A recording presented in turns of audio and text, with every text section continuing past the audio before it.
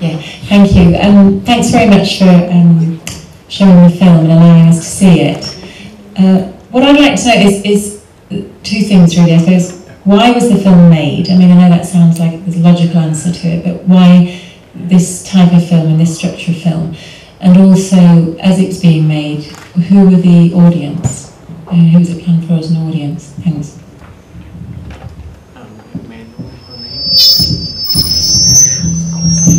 May I know your name, please? Oh, yes. Tracy, Skel- uh, Tracy Skelton, and I'm from the Department of Geography. uh, thank you. Uh, thank you, Tracy, for uh, asking this very interesting question because I've been often not asked about this kind of questions, it really uh, provokes me.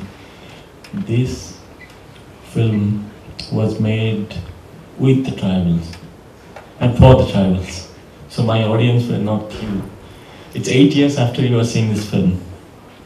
I was not showing this into any film festival. I've never been into any film festival.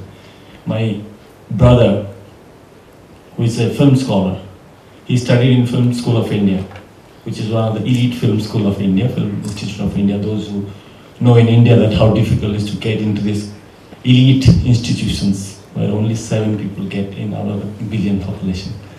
And he was studying, and I was studying my computers, and I was doing night schools and teaching my drivers. That boy who was singing there, we were going into uh, in summer uh, vacations. We used to have night schools and teach maths and other things. He has never been to any college.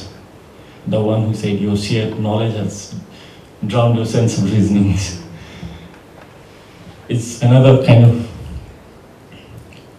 We had 256 hours of footage, and over six years we have been actually sharing this footage with the communities. We were showing this film. It was like a continuous documentary. That was my brother's idea.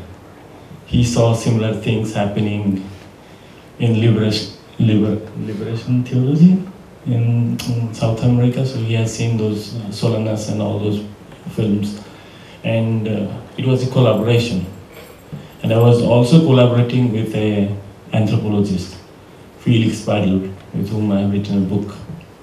And I was collaborating with so many other uh, uh, you know, faculties like geographer also I was collaborating with for creating maps and explaining them about the material flow analysis of aluminium and how similar things have happened in Weipa in Australia and other regions because I came to know about Janine Roberts who has written a beautiful book, a beautiful book called From Massacres to Mining. And that book is even not available now. So we were translating those books and showing those books. Bhagwan used to read those books and then he used to actually give us statements which I used to take to other mountains. And uh, probably a couple of, uh, I would say, 100,000 people have seen this film. Overall, around 1.5 million have seen the film and uh, the booklet which you wrote called The Political Economy of Aluminium Industry, that was in Odia called Aluminium Silpor Orthaniti or Rajniti. So that talked about everything and the film and the writing and taking the oral history and meeting that Salu Maji where I begin the film with. That was shot in 2001. And the last part of the film which you saw, Where Will We Go, that was just uh, before we started to edit. We said, Salu, we have already you know, accumulated so much of footage and we can't actually keep this in tapes. It's very difficult. We didn't have enough resources to do this. It, the film was non-funded. So I was raised by my family members and friends who contributed this film. Because we saw also those structures of NGOs and international agencies and how they create their own narrative. And this was a response for which we decided to make the film for people. Thank you.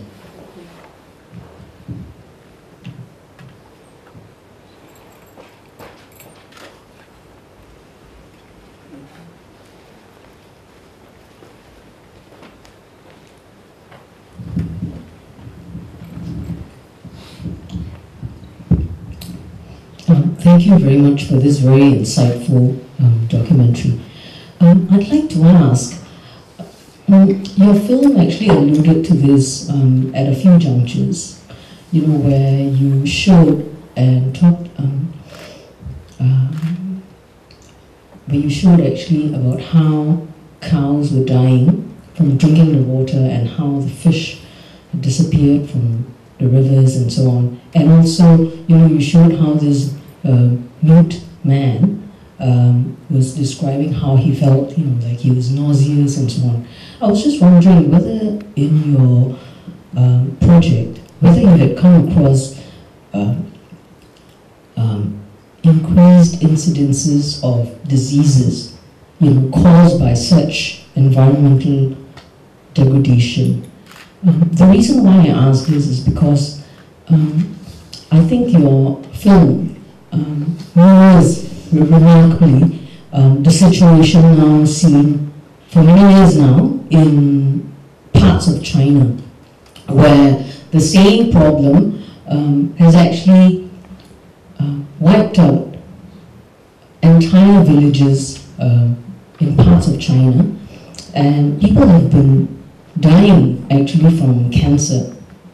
Um, I myself have spoken to, you know, um, um, uh, relatives left behind. So actually, I'm very interested to see whether to, to know whether you, you've actually come across um, um, diseases. Thank you.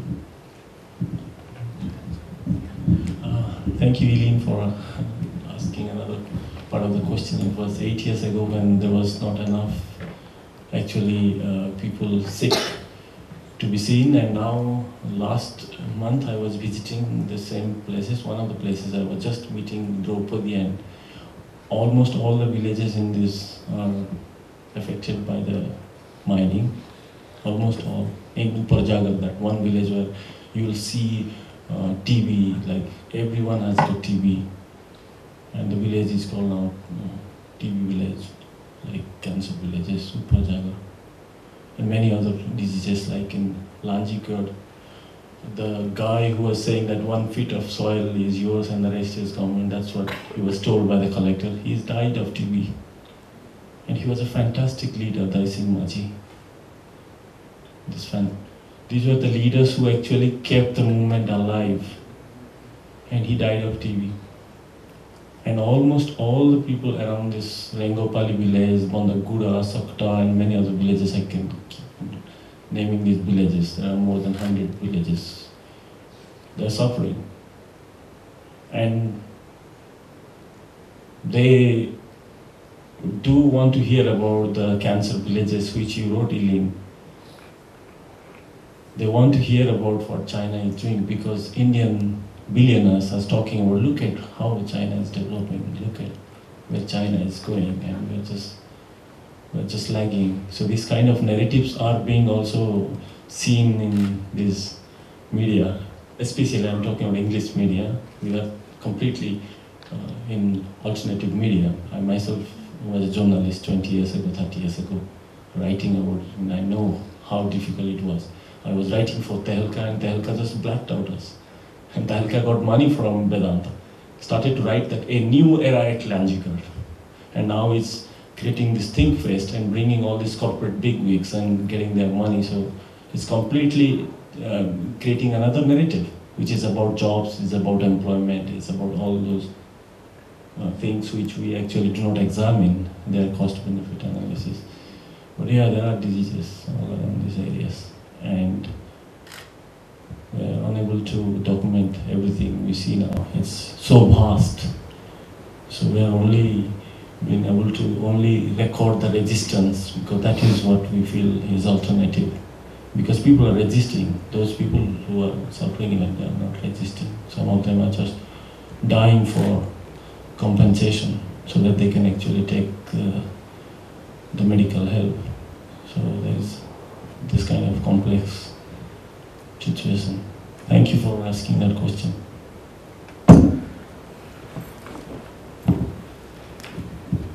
Um, hi, um, sorry. My name is Joey and I'm an undergraduate in the geography department. So, um, I'm just really curious. I mean, I've really been impacted by what I've seen, and I was just wondering, amid so much hopelessness in terms of, it seems to be like a losing battle that you and the tribes are fighting. So, what keeps you going, and what kind of hope do you offer these people? That's my first question. And my second one is, um, what can we do? I mean, as I don't want to just sit here to to watch and feel sad, and and then I go home and life goes on. Oh, that's so beautiful question, Joy. I really, uh, I feel that I'm really relating to such interactions with university students when I was a university student, going to the universities and trying to find out some allies like you, who are really interested to open up their minds. Talking about hope, I'm just here because we have we are celebrating resistance. We are celebrating the victory of the mountain, which you saw those people. This mountain is saved so far now. There's a historical referendum that took place after 10 years of our struggle in the Supreme Court. And we were lucky enough to have a good judge after 10 years of our battle. The other, one of the Supreme Court Chief Justice of India was a shareholder of this company. So we lost the battle in 2008 and then we again put another application into locator application and we tried to we try to convince the court that you have never hurt the people. How can you can actually pass a judgment about a mountain which is inhabited by people? People are not visible here. And we had a fantastic lawyer, Sanjay Parikh, who never asked us for any resources. We had a very beautiful judge who on the day he retired, he passed the judgment because he knew the powers he is fighting against. And he passed a judgment, and that judgment was to just talk to the people, get a referendum around this mountain, why their rights have been not heard, why their customer rights, their rights, we say, have under Forest Rights Act 2006 have not been heard. Very simple. And the referendum took place between two months, from July around 16 to August 19. And in all the villages, you won't believe, in every village, everybody wanted to say because the government has come to them for the first time. And what narratives you hear, it's all documented now. Every village, everyone, whatever they have said, it's documented. Fantastic. This mountain is saved and it's with the Ministry of Environment and Forest, all these narratives. So you will hear in coming weeks, maybe tomorrow. Because now the government wants to take credit that they have saved the mountain. and there is election nearby, so there is a another uh, narrative which is going to replace all these narratives all those NGOs who have been bought by this company are also bringing their own narrative. So it's a very complex mixture of where we feel that the resistance has given such beautiful uh, scope for us to share with you that there are only few people who actually stick to the ground for 20 years. And that's because of that we are winning this battle. And you said, what can we do? Just by being here, thank you very much for coming to the screening because I'm speaking from my heart to you. That if you put your 100%, you will not be disappointed with life. Whatever you do in your life, just love what you do and do what you love. You'll definitely feel that's what is the microcosm of the planet where we are.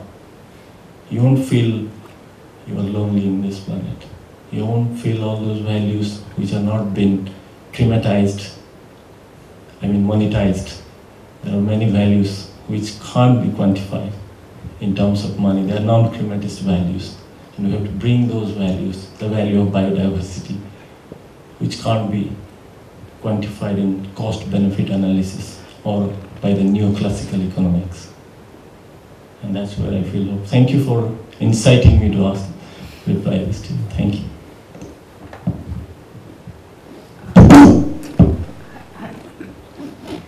I have a question for you, and I wanted to follow up on that and ask you this seems like a struggle in India. We don't have mines in Singapore. Does this relate to us? Professor Datta has really incited uh, another question which will lead to many answers. You know very well that Singapore is actually the center of all this commodity exchange. Singapore has started in April 2009, the first iron ore exchange. So you can see those iron ore mines and those pollutions have to do with Singapore. so, and also to this company, Vedanta. You know, Vedanta was losing this case in the courtrooms. While they were losing these courtroom battles, it was the Singapore government which rescued this company by buying 30 million shares from the share market when London Stock Exchange was flooding with negative ratings. So we have to ask, what is the taxpayer doing here? Why the taxpayer is rescuing a company which is losing the battle? You'll be surprised that the French investment bank, Societe Generale, in March 22nd, three weeks before the judgment about, is about to come, they could feel in these courtroom debates that this they are going to lose it. So they were projecting, they were giving negative ratings. The ratings were like, sell it. And when the company is giving um, investment rating agencies giving these ratings, you can imagine what happens in the stock market. The value of the Vedanta share, because of the protests, it was going down. And what happened that government of Singapore and government of Belgium and the pension funds of California Teachers Associations are buying these shares. And so also Aviva Insurance and many others.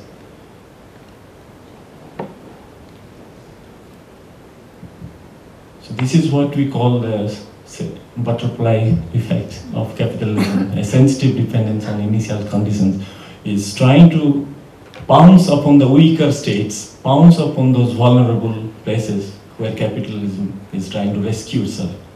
And this is exactly what has happened. All those tracker funds and pension funds are rescuing this company now. The finance minister of India was a shareholder of this company. And he was, his wife was a lawyer for this company. And he was on the board of this company the day he became finance minister, he resigned. You have the Supreme Court Chief Justice, a finance minister, and a former Home Secretary on the board, US Ambassador, British Ambassador on its board. So you can see what kind of forces they were associated with. So no wonder why countries like Singapore, Belgium, and many other European countries are buying shares. Does that answer you? Hi, um, my name is Liberty and I'm a PhD student from the Political Science Department. Um, I want to thank you for, for making this uh, documentary and I guess I just want, uh, I have a couple of comments and a, a couple of questions. Um, I think the story is, is, is uh, actually, it looks like it's a specific local story, but it is a global story. It's, it's, it's very, I mean, I had the, the chance to work with um, uh, make the making of a documentary in the Philippines, and, it's, it's the same story of indigenous peoples in the island of Mindoro having to fight Norwegian mining companies, Canadian mining companies. It's the same story. It's the same techniques that they do. And I'm wondering, do they have like an annual convention and they talk to each other? What do we do? You know, it's it's um and and it, it's it's. I think you really did a good job of, of representing this kind of an existential dread almost in, in, in, in the movie of this idea that the enemy is not something that can be seen or it, you could it's it's like it's it's coming from everywhere right? And in the name of the company's change, you have the Saudi Development Fund, you have these, you know, and, and these people are just, I think you communicate the, the, difficulty of them having to, I guess, sort of process this feeling of dread, like, you know, how are we going to do it? And then you balance it with these, uh, these scenes of protests and, and, and, and, and them organizing and acting uh, on, on this, this, this perceived threat. Um, I guess my question for you would be, I mean, in, in your travels, and, and you said so many people have seen this movie, have you met filmmakers like you who have made films that are similar? And my second question is, have you been, I mean, this is, um, you're fighting, I guess, people who have resources, and, and I'm sure you have had, I mean, have you had like death threats or something like that? So, death threats, I mean, have you, have you been threatened? Have people tried to buy you off? So, that's, Yeah, thank you, Rebecca, for asking another interesting question. How to respond to you? I know a lot of Philippine activists who actually joined me in London protest. And uh, talking about filmmakers, actually one filmmaker from Space Hijackers. Her name is Leah Borromeo. She's a wonderful filmmaker. She makes wonderful films. Recently, she actually tried to send a drone into the Syrian embassy and filming it and dropping uh, uh, pamphlets.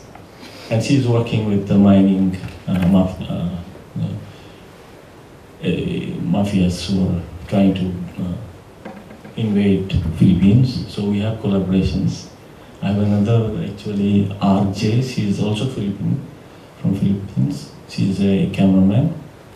She takes photographs. And uh, talking about filmmakers in India, uh, in all most of my interviewers, they have turned into activist filmmakers.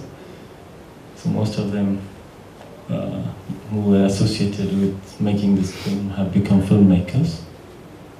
And some of them were attacked.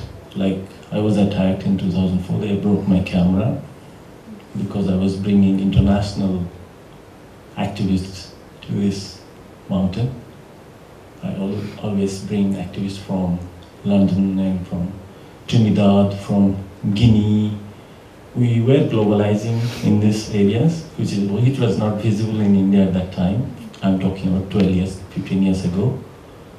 And now people are talking about globalizing resistance, but we were practicing that in real terms without actually making too much noise in the media. So as a result of that, this movement became strong. And what else to say? Uh, buying off and threats, they are uh, they can be only talked off record because I do not want to talk about those things in when it is recorded because you never know where it goes and how it happens. But we can actually have a one-to-one if you are interested to join us and to do meaningful things like uh, these mountains. They say that these mountains are life. So I felt like my film is going to compliment to their life and that struggle because this is also my everything for this. Maybe this is why I feel very happy today that I'm sharing this because it's a, also sharing a victory, sharing a victory of a 200 square kilometer mountain. Imagine that, almost like this country, Singapore, I would say, more than that. It's saved, and all that biodiversity is now in, intact. So I feel that in dread and despair, give little bit of total breathe, like the turtle in the film, slow breathe, and feel the slowness of life as well, because we are living in this uh, internet, social media where we talk about how to be always respond to, to every moment. There are also moments which to be lived for yourself. Uh, take take that victory news that there is one part of the planet which has been saved and the capitalist forces like as we were talking about Supreme Court Chief Justice, Finance Minister and uh, ambassadors couldn't get that mountain. And that's where I feel you can feel feel the joy of joy of some part of the planet which is alive and the people are feeling that there is hope. And that's where I feel very positive, talking about optimism. Endless. But that's the only way. Thank you. We have time for one last question.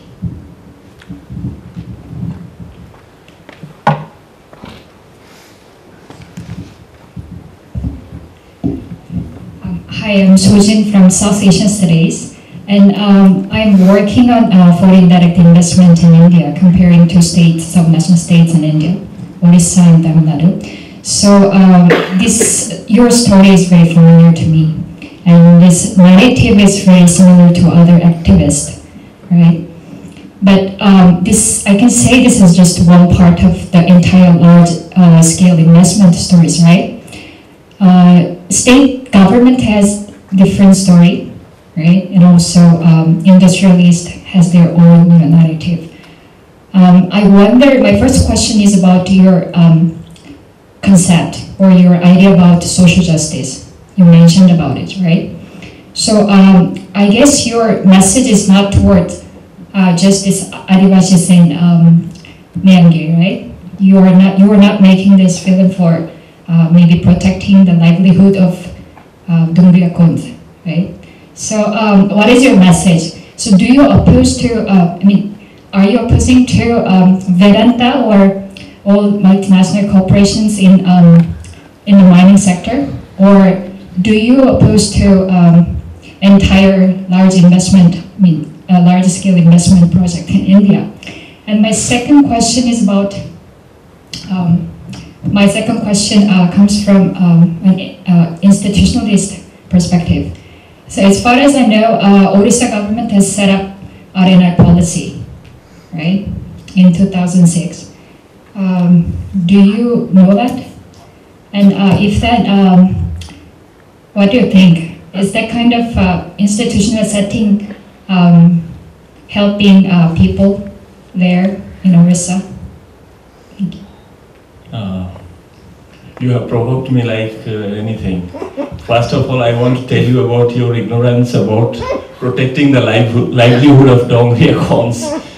You are taking agency out of the mountain to talk about here about the Dongria Kondhs. That uh, we are actually not interested in protecting the livelihood and just uh, saving the mountain or kicking out FDIs. These narratives are actually the narratives of the existing structures that we are fighting about, the structures of violence that we are talking about. You're talking about resettlement and rehabilitation of 2006 bill, yes. That happened just after the killing of this massacre of those Adivasis. Because that was the state's response to the massacres. Because it was creating such bad reputation. And that was the reputational risk of the foreign direct investment for which the state has to respond. So they were not actually coming from a very benevolent, passionate welfare state. So let me make it very clear, there is a battle here, and there are battle of narratives, and we know that those people who have got power, they will always create their own narratives. That's why in all these elite circles, when I come to the elite circles, I always also bring the voice from the ground. I always feel there is a, also a risk of associating with these elite circles where people who have not been even grounded in their own life about realities of life, daily to day struggles of the people, they often confuse me about who am I to talk about what FDIs are going to do for India. I know about few things about land, about people, what land means to people, what poetry means to them. Oh dear frogs and fishes of my river, will I be able to blink at each other anymore? I know what it means to them. I know what dislocation means to them. where 50 million, 15 million people have been displaced over so many years, ended up in slums. Nobody even noticed where they are. And we talk about all this GDP, talk about FDIs, we talk about things which 70% of India's population won't care. So who am I to actually talk about this? Talking about all this makes me wonder that what is that language that can preempt this kind of assault? There is a war against people. If you look at the biophysical reality of India, India's per capita available land is 2.1 hectare.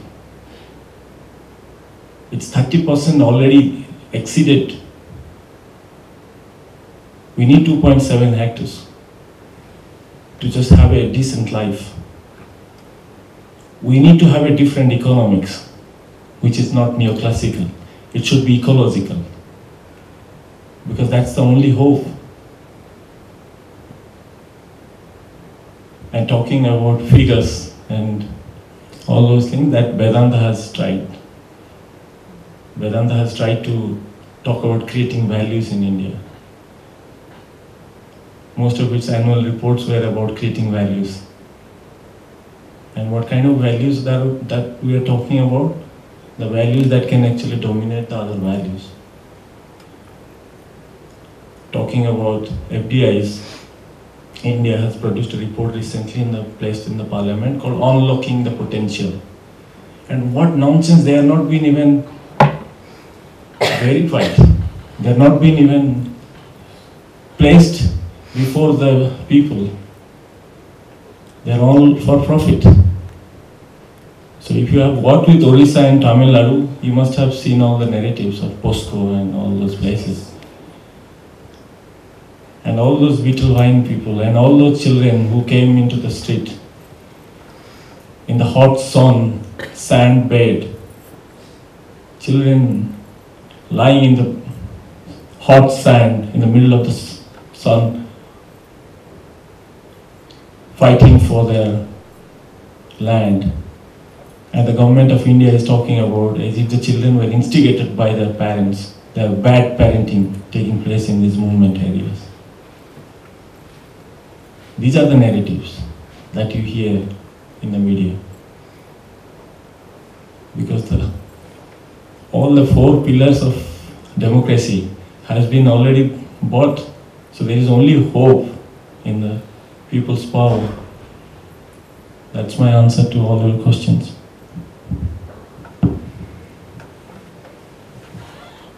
Thank you so much for spending your evening with us. I'm sorry we don't have more time for questions, but I'm sure if you have any particular um, questions that you still have, that um, Mr. Samarendra Das would be happy to talk with you about that. Um, we would like to present uh, Mr. Samarendra Das with a small token of our gratitude for his time with us at NUS with his workshop and the screening tonight. So um, please join me in um, thanking Mr. Samarendra Das for spending the evening with us tonight.